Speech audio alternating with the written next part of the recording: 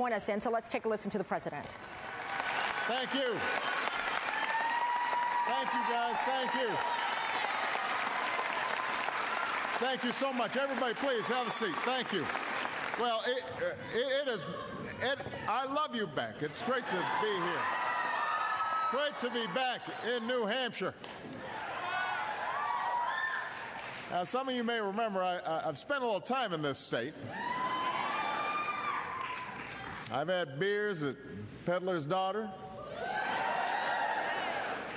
I man the scoop at Ice Cream Socials from Dover to Hudson. I've walked Main Street in Concord and visited with folks in all 10 counties. I, I even uh, once flew in the airport in Milan, which has got to be one of the only airports with a functioning wood stove. We spent a bunch of times in this gym, caused uh, traffic jams several times, uh, and just have a, a, lot of good friends uh, here in this state, uh, here in this city, and, and here in this uh, here in this high school. So I, am just grateful to all of you for taking the time to be here. Uh, I've got a couple of special thank yous to say. Uh, first of all, uh, please thank Tim Deining for the wonderful introduction and for the great work that he's doing day in, day out. I want to thank uh, David Ryan doing a great job as principal here at Nashua North.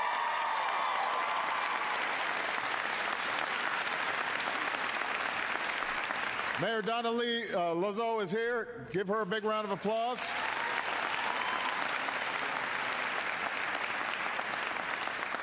Your outstanding governor, John Lynch, is here. Give John a big round of applause.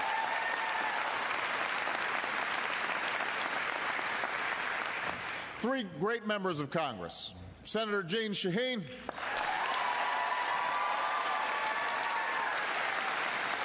Congressman Paul Hodes. Congresswoman Carol Shea Porter.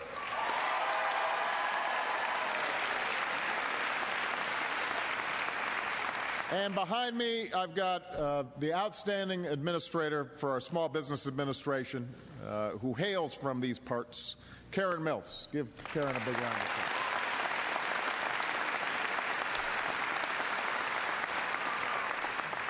So I want to spend a bunch of time hearing from you, answering your questions, but uh, if you'll indulge me, I want to make some, some brief remarks on the front end.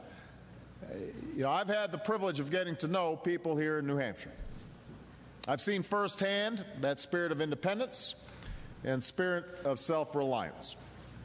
I know how hard all of you work and how tough and resilient you are. But I also know that people here in New Hampshire have been tested by the last two years, just like people all across the country. We've gone through the deepest recession since the Great Depression. And folks here have had their lives uprooted by lost jobs and foreclosed homes, shuttered businesses, vanished savings.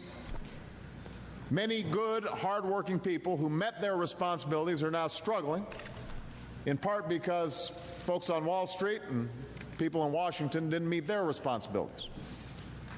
So when I took office, we knew the first thing we had to do was to break the back of this recession. And sometimes that meant doing some things that weren't easy, doing some things that weren't popular. Lord knows it wasn't popular to prevent our financial system from collapsing.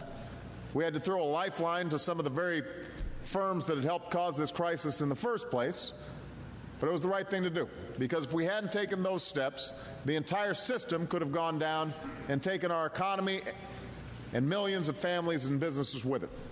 We couldn't afford that. And because of the steps we've taken, the markets have now stabilized. Nobody's worrying about another Great Depression like they were just a year ago. And the worst of the storm has passed. But I don't need to tell you the devastation remains. Today, one in 10 Americans still can't find work. That's why jobs has to be our number one focus in 2010.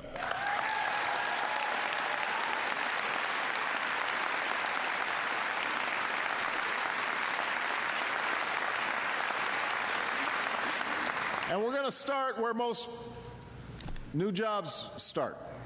With small businesses.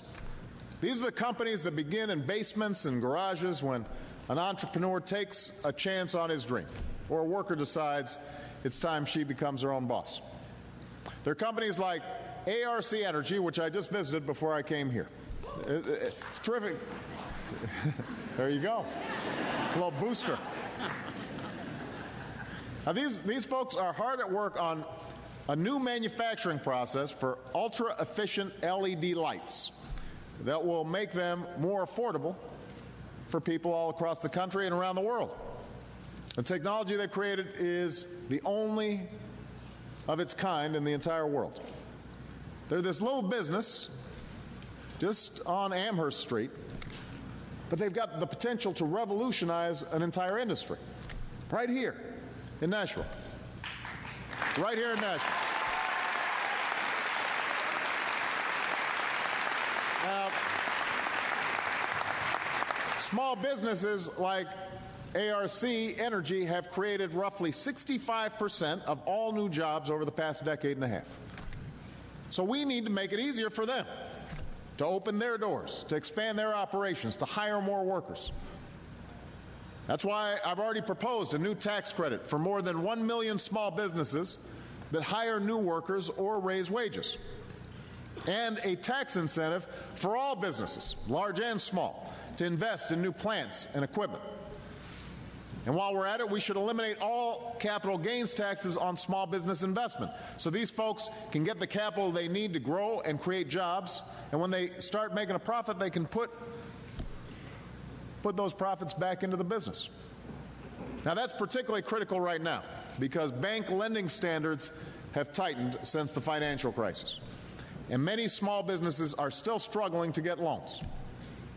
And that's why today I'm announcing a proposal to take $30 billion of the money that was repaid by Wall Street banks, now that they're back on their feet, take that $30 billion and use it to create a new small business lending fund that will provide capital for community banks on Main Street.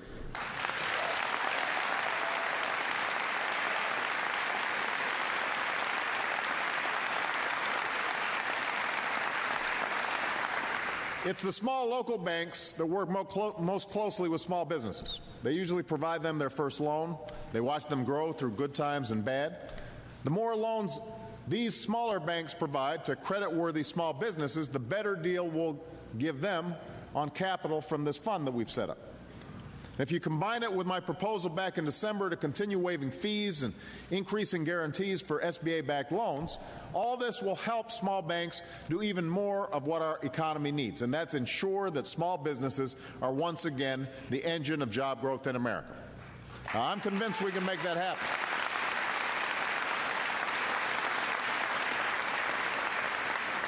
This is just one example of what we've been doing to create jobs this past year. As some of you might remember, last February we passed the Recovery Act, which had three parts. One third was tax relief for small businesses and for 95% of you, 95% of working families. One third of the Recovery Act was emergency relief, like increasing unemployment benefits and helping states keep teachers and police officers and firefighters from losing their jobs. And one third was putting people to work on infrastructure and renewable energy and medical research and more. Now, if you hear some of the critics, they'll say, well, the Recovery Act, I don't know if that's really worked because we still have high unemployment. But what they fail to understand is that every economist, from the left and the right, has said because of the Recovery Act, what we've started to see uh, is at least a couple of million jobs that have either been created or would have been lost. The problem is 7 million jobs were lost during the course of this recession. So we've still got a big hole to fill. It's going to be absolutely critical that Congress acts over the next several months to make sure that we don't lose sight of the fact that even though the economy is now growing again, almost 6% last quarter, people have not started hiring again. And we've got to do everything we can to put people back to work because we need a sustainable recovery over the long term.